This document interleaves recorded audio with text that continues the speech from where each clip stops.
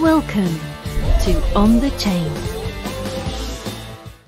Our boy Pomp was on Liz Clay- Claman show, one that we've seen John Deaton go on often, and I wanted to play this because I think this gives us a little bit of idea about what exactly is going on here. I mean, let's play this. Our boy Pomp. All right, Grayscale Investments ratcheting up the pressure after its legal victory against the Securities and Exchange Commission exactly one week ago. In a letter sent to the SEC yesterday, Grayscale urged the regulatory body to reconsider its application to turn its Bitcoin trust into a spot ETF.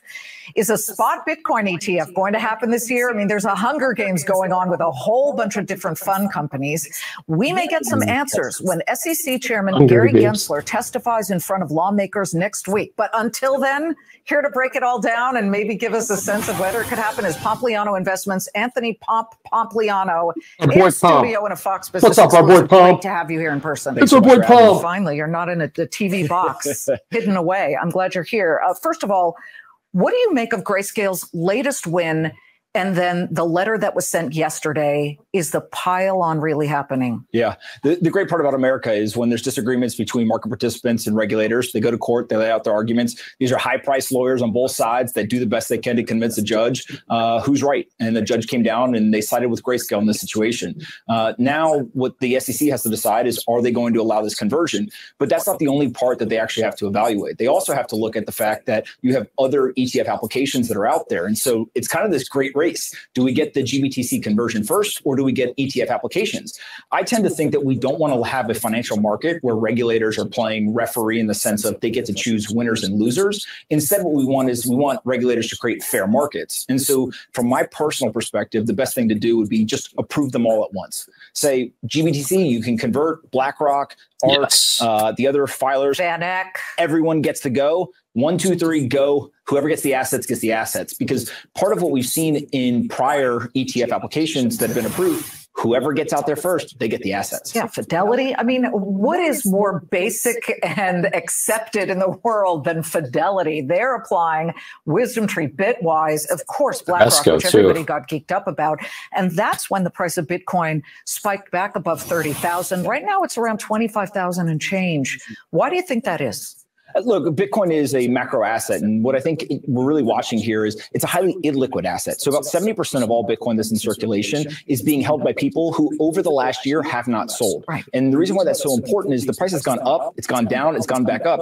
They're not selling. And so ultimately what we're watching is, uh, I think, the same setup that we saw in 2020. Going into 2020, there was this kind of inverted yield curve. There were CEOs leaving their jobs. It looked like we were heading towards a recessionary period. COVID happens and we get tons of money printed. But that happened to coincide exactly with the uh, Bitcoin halving. When that occurred, you had demand shock, supply shock, price goes up hundreds of percent. I think that we're watching that exact same thing play out here. ETF application will be the demand shock. The supply shock is coming with the halving, and we should go up hundreds of percent again. This is a trillion plus dollar market cap now. Investors are in it. They some like it. And for the SEC to dig in its heels at this point beyond what their job is to do, and that is protect the investor, starts to look a little strange. But there are some legal minds out there, and I want your opinion on this, who actually are speculating that simply to make You their yeah. case against a spot Bitcoin ETF, that the SEC would possibly roll back its green lighting of the Bitcoin futures hmm. opportunities that they have already put out there. Can you put the toothpaste back in the tube on BITO and BITI? I mean, these these futures trading operations that you could actually participate in now.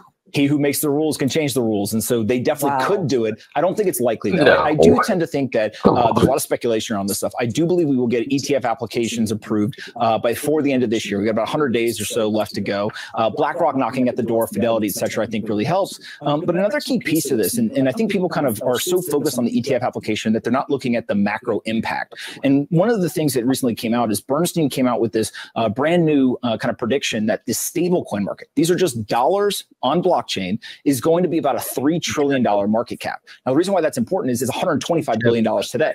So they're predicting just dollars alone will go from 125 billion to 3 trillion. If that happens, Bitcoin and the rest of the cryptocurrency market will likely be 10 plus trillion dollars. We're talking about a market that maybe is just over a trillion today. And so these are huge.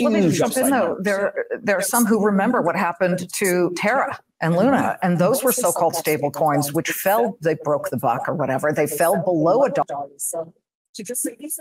Anyway, Jeff, that's what I really wanted to show right there because I think I, th- I think he's spot on when he says, "Oh, this thing's playing in my ear. It's driving me nuts."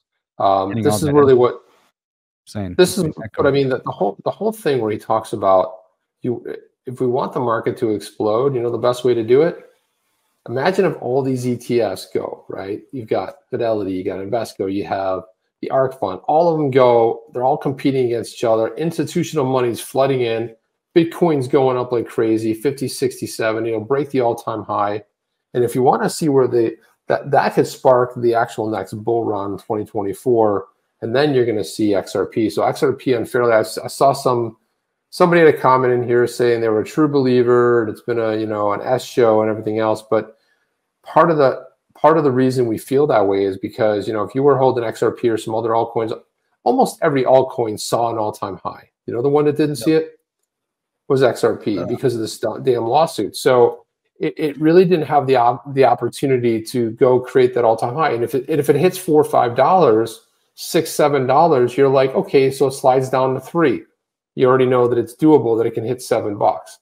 But the fact yeah. that we didn't have that bull run, we didn't have that chance, I think that's really what that's what's going to change in the next bull run. So it's a top five, top 10 digital asset, Jeff. Yeah. It's got to go. Yeah. I, you know, overall, you know, we, if we look back at the, at the way things progressed, go back and you can't always look back in history and say it's going to repeat exactly that way every other digital asset in the marketplace saw big trends up and they kept the momentum. Uh, XRP went the other direction. Uh, but if you track it back to 2017, or, you know, I think 2017, 18 was a real turning point for the crypto market. Uh, mm-hmm. Even previously to that, there was some uh, FOMO on Bitcoin and some FUD on Bitcoin. Uh, but 2017 was the market for Bitcoin and all and all the other assets. This is a short video that Jungle Inc. tweeted out about Chris Larsen, and it's just really short. Let's listen to it real quick. Let's listen in. Is the SEC lost on everything that was important to them and important in regulation of the industry? The case still continues. There's there's appeal processes that everybody has the right to do, um, but uh, we think that, that this is really groundbreaking. Uh, this is the law of the land is the SEC lost That's on it. everything that was important. They lost on everything that was important to them because that was it. Basically, crushed that once they got that. So thank you for Jungle for tweeting that out. I always like to do a shout out there. Are you down with OTC? Please like, subscribe, and click the bell to be notified when the next video drops.